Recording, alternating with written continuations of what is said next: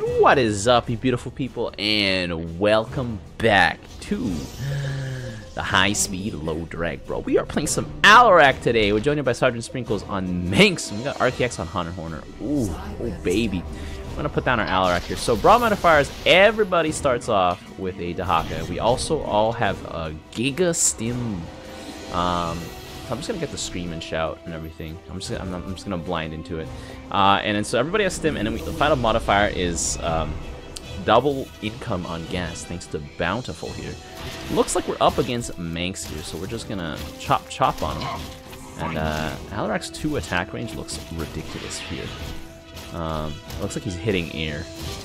Uh, but yeah, Alarak on that stim, pretty good. I think against Mengsk, I think I wanna I wanna I wanna get a Slayer army uh, and then just go for Tall Stalkers.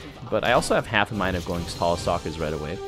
But, you know, let's not do that, because going straight away into uh, Tall Stalkers is a bit of a meme against Mengsk at the very least, because he does have the capacity to, uh, he does have, the, oh man, that's another man, oh man. Why does Inflict sound familiar? I feel like we've definitely, I've definitely played against Inflict before. Against and or with Inflict. Um, uh, anyways, we're gonna get that, that, that, and I'm gonna get the phasing armor. But yeah, looks like we got a lot of Mengsk action here. Um, that'll be a little spicy. Uh, I might need to get some Vanguards, actually. We'll have to see here. Mm. Yeah, there we go. Boom, boom, boom. I mean, like, the boys should be feeding Alarak every time, uh, you know, Alarak kills stuff. I just need that level 2. Oh, that's an Aegis Guard, boys. That's an Aegis Guard. You gotta eat that high-value target. Oh, yeah, delicious. You gotta eat that Aegis Guard, boys. Um, yeah, we'll put that on 2. Where is he? Where is he? Hotkey 2? Come on. Ah, he can't eat anything else. Aegis Guard cooldown's too long. Uh, I lost my Havoc though, but you know, these guys here should do a, a good job here. They'll like blink back. They'll... The stim also gives you health regen, which is great. Um, which is great. It's awesome. Um, so it means their stalkers can at least stay alive a little bit longer. Actually, I guess I should say slayers. Um, there we go.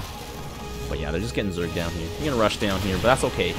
Uh, all these light units are gonna get roasted. Roast them! Roast them! Kinda, maybe? Yeah, we roasting. We kinda roasting. That's a lot of boys. Yep, that's the secret strategy here. Alright, I guess you can eat a boy here. Uh, you know, to just heal up and stuff. Come on, eat that Aegis Guard. Oh, yeah. You know, he started popping his salvo. Nah, just eat them, boys. Just eat them. Anyways, Aegis Guard's gonna cause me some problems. It's gonna give me some grief here because of the fact that he does so much damage to anything that's armored. I don't really have a, a really good way to like stop him until I get like, you know, more than one unit. Oh my god. Sometimes the units glitch out and they die on top of Dehaka. You know, he's down tremendously, boys. He's down tremendously. Um, do I want a Vanguard? Vanguard could be helpful. Sure, I'll get a Vanguard. I'll get a little Vanguard here. Press X here to level up. Um, more healing, more screaming. I don't know, probably just more healing, more, more, more, more munching. Uh, let's get that here. More splash. Cool. Need some more guys. Oh yeah, Alarak's knockback wave is just gonna end him there. Um, there we go. Come on. Oh, that's a ghost. Oh, jeez. Emperor Shadow. It's gonna be it's gonna be tough here. But anyways, damage amplification on the enemy Dehaka should make it easy for us to kill. Oh yeah, she's just oh she just got rushed down and she was stunned, so I don't think she can use her ability there, which uh, makes her like in, in, invulnerable. Uh, her labyrinth cloak. Actually, these slayers are doing a pretty good job um, at uh, just focusing down these units here. I think I should probably get a few more slayers. So yeah, my, my theory my theory of getting slayers first before going to tall boys uh, was correct.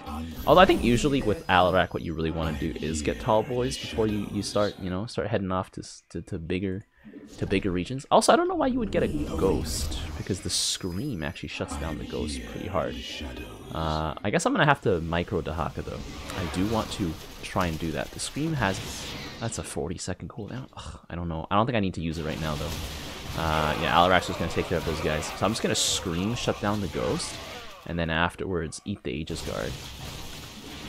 Eat the Aegis Guard. So yeah, if the Ghost can't use her abilities, then uh, she's not really a threat. Um, and then Alarak's just gonna go and stun him. There we go. She's stunned. She can't use her Labyrinth Cloak. And it's done. And it's done. Bada bing, bada boom. There we go. The Vanguard gets eaten. Whatever, that's fine. Vanguard's only there to add some additional splash. Uh, really nothing else besides that. Alright, now I think that we're, we're, we're in a stable position, so we're just going to go for the tall boys. We're going to go for the tall boys. The tall boys is the heavy firepower. Uh, every one second, 100 damage. We'll need a few tall boys before they start counting for something. But uh, once they start getting there, it's gonna, it's gonna, they're gonna start feeling it, Mr. Krabs. They're gonna start feeling it, Mr. Krabs. You know, one thing, I've started like, I've, I've started teaching French uh, using like SpongeBob, in the way, in the sense that like, I create like these little stories that are tailored to teach like some sort of, um, what you call it, some sort of like concept, you know, like I don't know, the verb vouloir or something, and uh, or like a verb tense, and then it's like a little SpongeBob story that I just make up, um, and I'm just like, I I just noticed like I have so much appreciation for SpongeBob because like in a way, like when you're a kid, you're like, oh that's funny, and then like now that I'm looking at it, I'm just like, man, SpongeBob had some pretty deep and meaningful lessons. Like I like I, I also get like my my students who are, who are English language learners to uh, to watch it, uh, so they can listen and stuff. Uh, hey, we got we got Gumba here.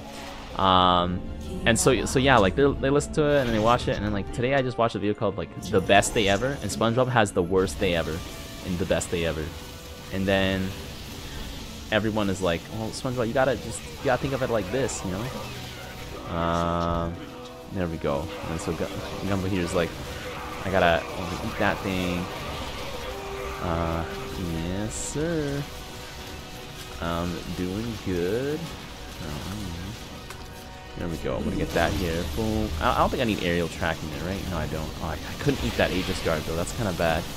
Um, but I do need to... I think we can probably annihilate the Aegis Guards if I have a few more of these guys here. Shock Divisions. Got the Decent going on here. Decent is always good. Let's put that in another one of these. But yeah, it's like... I don't know. I have so much fun. I, I think it's like it's like um, it's like the things you don't see when you're a kid because you've simply never experienced it and you just think, oh, that's funny. Oh, that's heartwarming. And then, like, you know, as an adult, you're like, damn, I know, or something like that. You know, like I, I relate to that uh, on a, on a on a whole different level. So yeah, let's let's just put all these guys down here. Actually, Gumba speaking to me reminds me of uh, in the previous video, I was talking about special military operation.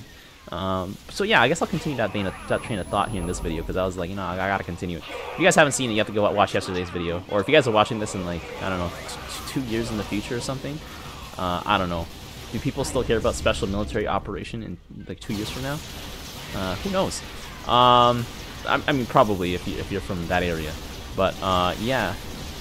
So yeah, basically, uh, like what I've watched has told me that um, the Russian army is just gutted. It's like an empty shell of its former self. It has a lot of equipment, not really enough manpower, uh, and not really any ability to call upon that manpower in a, in a way that makes sense.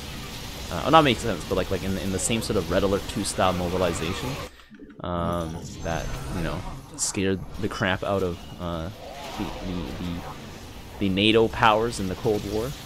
That and also like, I don't know, Russia forgot that it's muddy at like you know, it's mud season, boys. It's what literally stopped, it's what really delayed the German attack in World War II, you know, and they sort of forgot about that part, you know. Um, but yeah, anyways, there's like there's, there's like a whole slew of factors too, like not just that, right? But like logistically, the Russian Russian army was like, huh? What what are logistics? I've never heard of them. Um, I saw like so many pictures because I was browsing like the Reddit as well, where it's just like they're like they literally just like I don't know, grabbed a bunch of equipment and like they're just grabbing whatever they can that carries people or moves or whatever and like strapping stuff to it. I'm like, man, this is supposed to be like a world superpower army? Man, it looks more like an insurgent force trying to like, you know, get the Americans out of their country or something. like I don't know. Some of the some of the videos I saw were like that. I mean, you know, I'm not videos like like pictures. Like there's just like random civilian trucks and cars. Like there's a bunch of like boys in a dump truck, like like you know those big industrial ones that carry like a few tons of dirt. And I'm like, man, what happened? You know. Um, but yeah. Anyways, that's about it. I don't know. opinions, whatever. I don't really have one on it besides the fact that war is heck. It sucks. You know, shouldn't really ever have wars. You know, I'm looking at those pictures and I'm like, man, like all those people were living lives, and now some of them don't live those lives no more. You know, because they did, or you know, everything that they had was like just destroyed. But yeah. Anyways, I, I did get aerial tracking on my guys, so that Skyfury is going to do a number on me. Uh, and in response to the Skyfury, I'm going to need some Warp Prisms here. We gotta, we gotta really like, you know, use them as a veil. These guys aren't going to last really long though, because the Skyfury stim is, is nothing to joke about. Uh, I could probably get some fusion mortars for my... Oh, what the? Are those galleons? That was a gigantic switch here. Oh my god, RKX the Madman coming in with those galleons. We might get overrun here. Hold on. Um, one of these guys here so we don't get overrun. It looked a little spicy, but like if these galleons survive, which they look like they are going to, we are gonna be in it to win it, boys. I'm gonna overcharge this Warp Prism here. I think it can still get eaten while it's overcharged, so that's a nice meme. Um, but damn. Love that galleon swap. That galleon swap was beautiful. Um Now they just need some uh, they just need some they just need some wasps on them, also known as interceptors to sting the living daylights out of things. But yeah, I think one really interesting thing about Ukraine is that um but like in terms of military tactics that seem to be coming out is drones might be the future of air power. Like, right now, our drones are, like, the drones are still kind of Pepega in terms of, like, what they're capable of, right? But, like, you don't need an airfield or a staging area to launch drones, really. They're tiny-er compared to, like, a conventional fighter jet, so they're more resource efficient, they can deploy more easily, um, you know, you can, like, like, it's usually, like, just, usually what I've noticed in war is that whatever is like more affordable and effective to use tends to be the better weapon like overall you know? Um, and like you know if it's more versatile if, if you can use it in more situations if it's harder to counter or like like there's lower limits to like if it's big and it looks impressive like the Tal'Darim mothership um, it probably is only great for uh, videos uh, where you show it off because once you send that thing into battle, everybody's got all eyes on it, and it's gonna get blasted to shreds. Um, I don't know, kind of like how like the main battle tank right now is like just like I don't know. I don't want to be a tanker, boys. If it ever happens, like get me out of that coffin. Like the armor works until it doesn't. Then you're dead. like basically, probably instantly. Um, but yeah, because I feel I feel like with with with before like the strategy like if you want to gain amp supremacy, you just take out the airfields, which means there's no more ability for planes to take off. But now the interesting thing is I think you could probably still like have drones take off like in some like you know as long as like, like there's a little bit of space that's clear, you could get some drones in there. I mean right now I don't know I don't think drones are you know on par with fighter jets in terms of how powerful and strong they are and like you know they probably might be have some tactical weaknesses in terms of like getting jammed or disrupted and other things, but those are problems that you could probably solve, you know?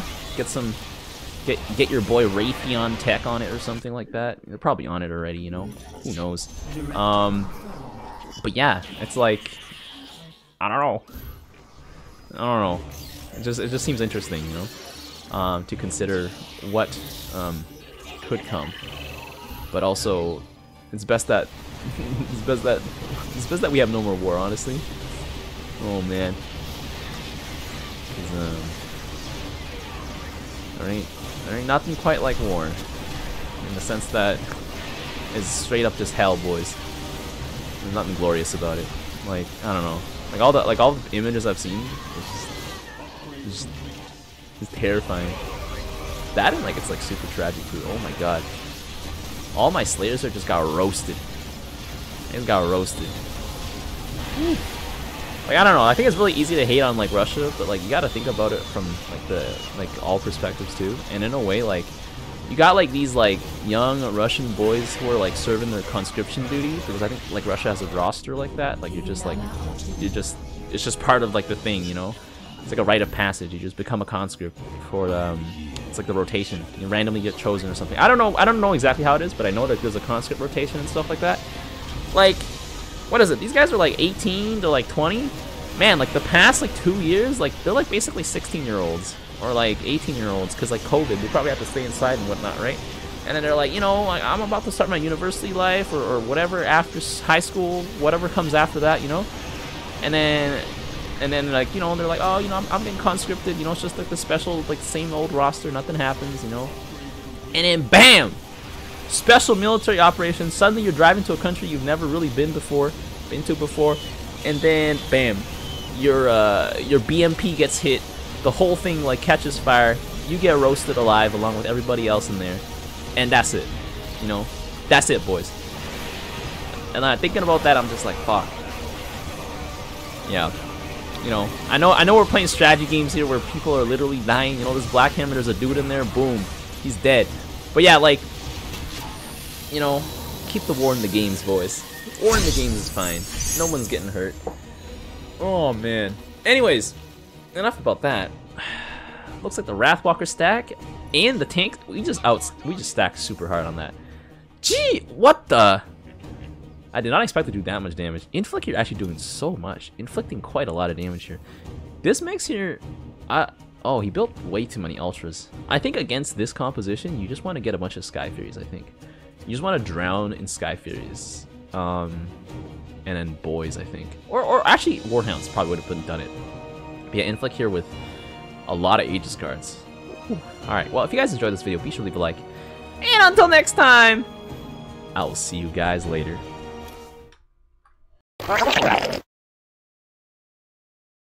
The tires! Let's light some fires!